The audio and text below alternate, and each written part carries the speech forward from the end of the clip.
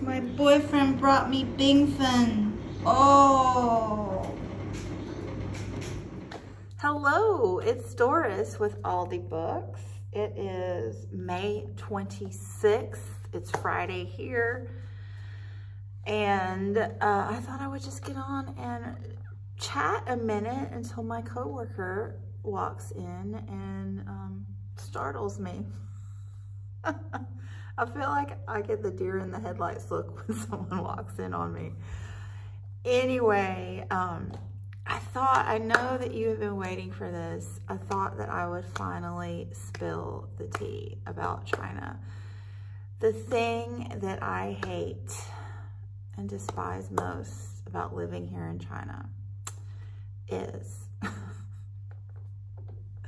my hair hates the water here, okay? My hair absolutely hates the water here. Uh, if you have uh, curly hair, partially curly hair like me, you will know what I'm talking about. My hair is very sensitive to water quality. It doesn't like it too soft, doesn't like it too hard. It has to be just right for me to have a good hair day. and the water here is not just right for my hair. I haven't been able to find a shampoo and conditioner combo to alleviate the situation. And I'm way too lazy to um, wash it with bottled water. I do, like we're going to prom this weekend. I'm gonna go get the wash and blow dry. Like, let me tell you, if you want a good time in China, go get your hair washed and blow dried. There is this woman down the street that gives you a 30 minute scalp massage as part of the wash and blow dry process and it is next level amazing. But when my hair I've never in my life had my hair blown dried blown dry blow dried. Anyway I teach English um, I've never had my hair straightened in my life until moving here and it is fabulous. It actually looks cute. So I'm gonna get my hair done for prom. Uh, prom is Sunday. So we've been invited. Oh, my guy, Brent's been invited and he's taking me as his date. So. Fun times, fun times. Anyway, Friday reads. So barely reading. Uh, as I told you, I sat at my kitchen table for five hours night before last, um, just working out chemistry problems. I just reached a point where I'm like, I can see the light at the end of the tunnel and I just wanted to get the monkey off my back, okay? I just worked until I understood all of the last topics that I needed to teach stoichiometry, um, limiting reagents, and percent yields. I got it. I got it nailed. And sometimes I get that way. My, my good friend who is a family counselor, she told me that I have OCD tendencies. She told me this years ago and it just totally makes sense. Um, I'll show you my closets this weekend and you're gonna understand um, but she said that I don't have OCD um, because it's not debilitating to my life. Um, I, I can control it just fine, but realizing that I cannot control everything, I choose things to control and it, it calms me down. so definitely spending five hours working out chemistry problems was excessive, but in the moment, it calmed me down. And then last night, um, I got home and I'm feeling overwhelmed with my reading because I, I have, you know, if you've been watching the channel for a while, the last couple years have been really erratic with my reading um, because I got a boyfriend and was moving to China. It's a big deal, right? Um, but this year I've settled into like everything's calmed down and for hmm. some reason I ended up reading 10 books in January, which was great to be back in the double digits. And then I randomly managed to read 10 in February.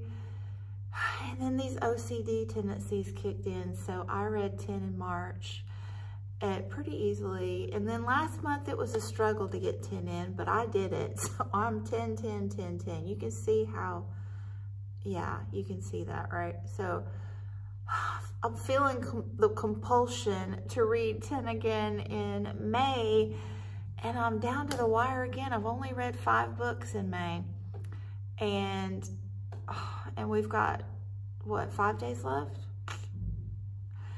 I have several started. Um, I'm supposed to, I, ha I have to read, not supposed to. I have to finish two booktube prize books. However, they're chunkies. Um, so I was trying to compulsively read the 500 pager yesterday, and I don't really like it for reasons. Um, and it's an unpopular opinion. Other people love it, and I totally get why they do. I can name all of the reasons why and all the reasons why they should. It's a great book, but it's not for me. And then the other one, um, I am really enjoying, and not everybody would, and I can see why. Uh, and I want to read that one, but it's a thousand pages. So I knew I wasn't going to finish it yesterday. So I'm, I'm torn between, you know, the books I want to read and the books I should read. Um, so yeah, yeah, rocking a hard place with my reading right now. And then I also need to read a book naturalist book. I should read that one, but it's also chunky. And then um, I started the Makioka Sisters. I said I was going to read that this month, and I've only read the 5, 16, 20 pages, and it's chunky. Um, so, yeah, I got to figure this thing out. My mind's got to work it out. I do have to finish the two booktube prize books. But anyway, so what I did to, to calm me down, you know, was I worked on my watch later list on BookTube. So I like to keep it under 60 because this is just how my mind works, y'all. It just doesn't stop. So I like to keep my booktube watch later list under 60 because if it goes over 60, some of the videos get hidden from view. I bet you didn't know that. it only shows you 60 at a time. So it's like randomized maybe. So you only see 60. So if, if it gets over 60, you're not seeing some that are on the list. So at least on my phone, it does that. So, um, I'd, I've been getting over 60, you know, life, life gets in the way. So I calm myself down by getting my watch later list back under control. I like, I'm a control freak. I like to control things. But that's just how I, you know, calm down my anxiety. I don't really have anxiety. I shouldn't say it like that. I calm myself down. Um, what was I saying? I forgot. Anyway, anyway. Oh, books, back to books. So I also um, started researching graphic novels. I started researching graphic novels and um, I started by Googling um, graphic novels of 2022. I thought that's a good place to start. And it popped up with three that looked super interesting right away. And then um, I was watching That's So Poe during the booktube control watch later list process. And she uh, mentioned a fourth. So I've got four options. I researched them. Um, I think, I think of the four, three are readily Actually, I also checked out my StoryGraph and found another one. So um, anyway, in this process of however many books, three of them are readily available to me um, between my um, library online app and um, Scribd. So you can see what's coming, right? I'm gonna finish those two booktube prize books and read three graphic novels to finish out the month. So I will show you those later um, today before I post this video so you know what they are. I can't talk about the booktube prize books, so I'm not gonna talk about those. But the graphic novels, I'm gonna show you the five and the three that I'm gonna start next, and you can tell me what you think. So yeah, I'm gonna get started with my workday now, and um, I was gonna talk about that too. I love my job, y'all. It is consuming. I cannot remember ever working this hard at one job. I have worked this hard in my life, like as a single mom, making ends meet. You better believe I worked hard, but it was at multiple jobs and my main job, I didn't really enjoy it for the last 10 to 15 years. I mean, there were aspects of it I enjoyed, but overall, it was my outside of work hobbies and interests that motivated me in life. So it's really weird to be here. That's part of my internal conflict is sitting down at the table for five hours working out chemistry problems. I realized somewhere in the process that I was enjoying myself. And that is so strange. Like, I swear, it's been pushing 20 years since I felt that way about like the things I was doing at work. So yeah, so the, the internal conflict is that work is keeping me from doing the things that I have trained myself to do to enjoy life, if that makes sense.